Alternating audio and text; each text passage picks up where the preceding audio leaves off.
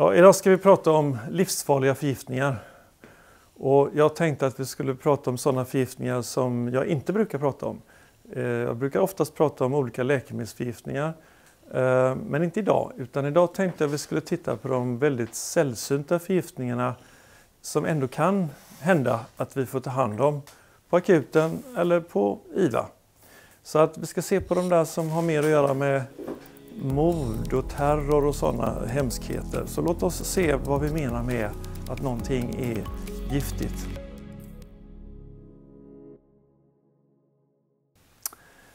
Ja, för att ett ämne ska betraktas som giftigt då, så menar vi att det ska vara sånt att det ger ett hot mot vår fysiologiska integritet. Att det alltså är skadligt i, i väldigt små doser eller i en dos som vi får i oss då eh, ofrivilligt eller för all del också avsiktligt men eh, där så att säga effekterna blir skadliga mot kroppen och ett hot för hela homeostasen i kroppen.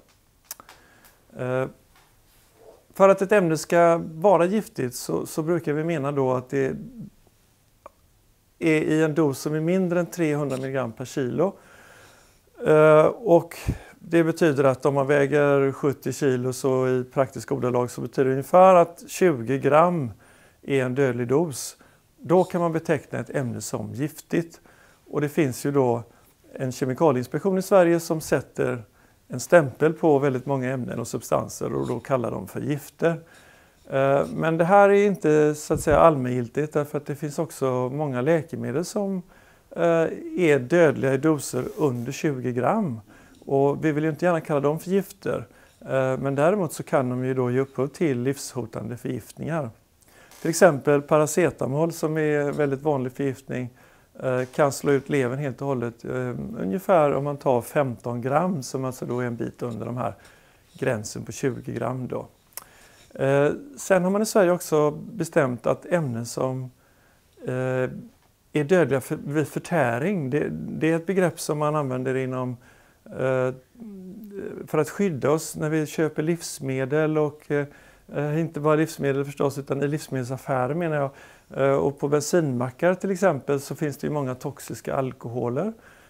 Vi har till exempel metanol, etylenglykol och isopropylalkohol. Och de kan ju då vara dödliga vid förtäring. Och där, men det menar man då oftast att en dos om 5 mg per kilo per kroppsvikt som då motsvarar ungefär 350 mg för för en, en, en vanlig vuxen. Då. Eh, så att eh, det här är ungefär vad vi menar med, med giftighet eller vad gifter är för någonting. Då. Eh, ett annat mått på, på, på ett ämnes giftighet är det som man uttrycker som LD50. Och LD50 betyder ju letal dos, alltså den mängd som givet till en, en biologisk population, till exempel möss, dödar av 50% av populationen. Det är LD50. Och LD50 det är också ett begrepp som man använder till exempel på, på olika ormgifter. Då. då injicerar man möss med, den här, med ormgiftet och så ser man då ungefär hur stor mängd som, är, eh, som dödar av halva populationen. Eh, problemet med LD50 är ju att, att det är beroende på vilken djurart man använder så att olika djurarter är olika känsliga för olika toxiska ämnen eller gifter. Och, eh, till exempel katter katter tål paracetamol väldigt mycket sämre än en människa. Då. Så att den här jämförelsen med olika djurarter den, den håller inte alltid. Eh, så att även LD50 är ett begrepp som, som ibland inte är, är alldeles solklart eller tillämpbart då eh, när det gäller effekter på, på människan. Då. Vad menar vi med farliga förgiftningar? Då? Ja, allting kan vara farligt eller giftigt, till exempel vatten i för stora mängder kan vara giftigt. Vad som händer om man dricker för mycket vatten är är ju att hjärnan kan svullna och det kan svullna till den grad att man blir medvetslös och får kramper och till slut dör då. Och det har faktiskt hänt eh, att folk har gjort detta till exempel i tävlingar där man har eh, sett hur mycket vatten någon kan dricka och, och jag har också sett patienter på vår intensivvårdsavdelning som kommit in efter att ha druckit för mycket juicer, det har varit olika juicebaserade dieter och fått då en, en form av vattenintoxikation. Men okej, okay, vatten brukar vi inte vanligtvis betrakta som, som ett gift i alla fall. Då. Eh, salt är ett annat ämne som, som kan vara giftigt om man tar för mycket. Och vanligt bordsalt till exempel är, är, dödligt om man tar så mycket som 300 gram. Eh, nu är det ju så väl att det inte är så lätt att sätta i sig 300 gram salt så att det är heller inte så vanligt då. Eh, men däremot är det väldigt viktigt att vi som intensivvårdsläkare har koll på saltbalansen i kroppen och vattenbalansen och håller noga reda på, på våra natriumvärden i blod. Då. Eh, andra ämnen som kan vara giftiga är till exempel acetylsalicylsyra som ju finns i, i eh, Bamyl och tidigare fanns i Magnesyl. Det finns också i Treo till exempel. Det var vanligare förr när man behandlade barn eh, som hade feber med acetylsalicylsyra. Eh, och då var det ett ämne som rubbade hela metabolismen i kroppen, hela homeostasen. Man fick en typ av, av metabola effekter med metabolisk acidos som kunde vara väldigt farlig och det är ganska, redan vid ganska små mängder. Så att på vuxen räknar man som att 25 gram är en dödlig dos. Eh, men på ett intorkat litet barn så kan det vara betydligt mindre än 25 gram. Det kan räcka med, med några gram. Och då kommer man ner i sådana doser som man kan ge då som förälder om man nu använder stolpiller till exempel. Och, och därför så blev det så att man, man slutade med de här rekommendationerna i Sverige att behandla feberkramper till exempel med, med eh, suppositorium med acetylsalicylsyra. Utan där är ju vanligare nu för tiden att man använder paracetamol då, som också kan vara giftigt i höga doser. Eh, koffein är en annan substans som, som kan vara toxisk om man tar för mycket. Eh, koffein är ju vanligt idag, i, framförallt så får vi i oss det i kaffe. Men det, vi får också i oss en jäkla massa koffein i energidrycker. Och det vet man att dricker man för mycket energidryck så kan man få hjärtklappning, man kan få tremor, oro, ångest och man kan också få arytmier faktiskt. Och detta har drabbat många yngre, eh, speciellt ungdomar då i, i nedre tonåren som har druckit tre, fyra eh, flaskor med energidrycker och så plötsligt känner att hjärtat rusar, slår oregelbundet och man har till och med fått svimningar. Då. Eh, så att koffein kan definitivt eh, vara toxiskt. Eh, det kan också ge upphov till allvarliga hjärtarytmier och vi har även haft sådana som kommit in med kammarflimmer och hjärtstopp. Och en, en, en, dödlig dos koffein brukar man tala om att det är ungefär 10 gram.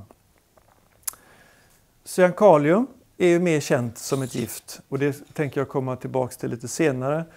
På den här sliden som vi ser nu så ser vi flera sådana här kända klassiska gifter då, som cyankalium som, som är, kan vara dödligt i en dos om 300 milligram.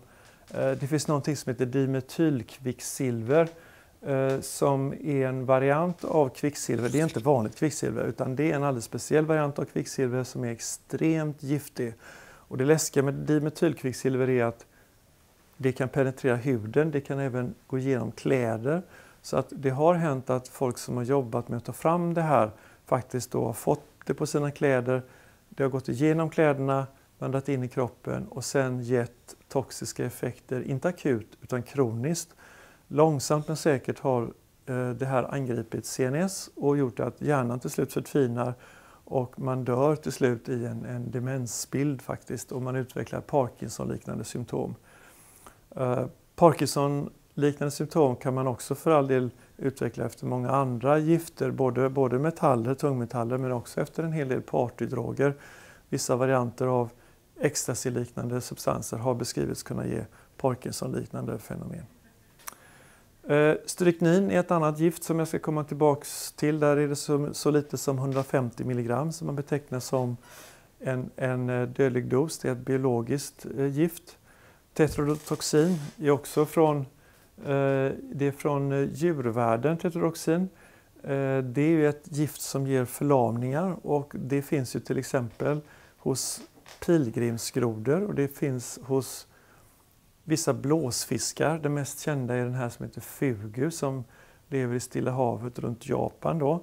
En fisk som man äter i Japan men som är livsfarlig att äta faktiskt. Och, eh, när det gäller fugu så är det så att det finns kockar med särskild utbildning i Japan som har lärt sig att, hur man ska filea de här fiskarna för att de ändå ska gå att äta. Då.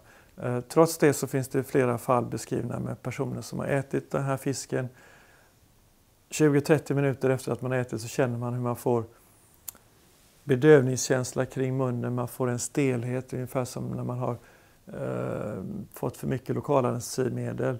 Eh, och sen kommer det snabbt fram progredierande neurologiska symptom där man då får förlamningar, parestesier, domningar och till slut blir man medvetslös och förlorar andningsförmågan helt och hållet. Så att man blir helt paralyserad och kan inte andas. Och detta dör man av om man inte då får hjälp med konstgjord andning. Eh, Tetrodotoxin är ju ett av de absolut mest giftiga ämnena då som, som finns inom den biologiska världen. Och det är någonting som finns framförallt i den marina världen. Då. Eh, dioxin är ett annat väldigt giftigt ämne. Där räcker det ju då med ett milligram för att man ska få toxiska effekter. Oftast också inte akut utan mer på lång sikt. Och sen till slut botulinustoxin eh, som kanske är det ämne som i allra minst koncentration då kan ge giftsymptom. Eh, och botulinustoxin är, är, extremt giftigt och har använts också vid mordfall, till exempel eh, kända paraplymordet som, som eh, skedde på en, en, en eh, bulgarisk eh, före detta spion vill jag minnas på slutet av 70-talet där en, en lejd mördare stack ett paraply i magen på, på den här spionen så att han fick i sig botulinustoxin och avled senare då utav det.